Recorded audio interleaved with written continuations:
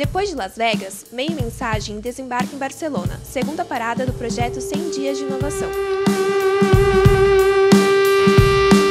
Operadoras, fabricantes globais de dispositivos, produtores de conteúdo, agências, startups, montadoras, plataformas de mídia. Essas empresas estarão no Mobile World Congress, principal evento móvel do mundo, e uma mensagem também estará lá.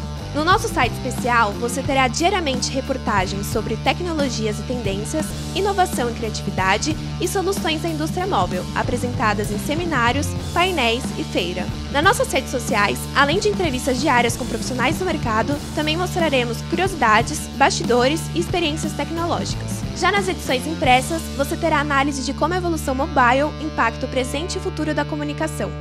Fique conectado com a gente!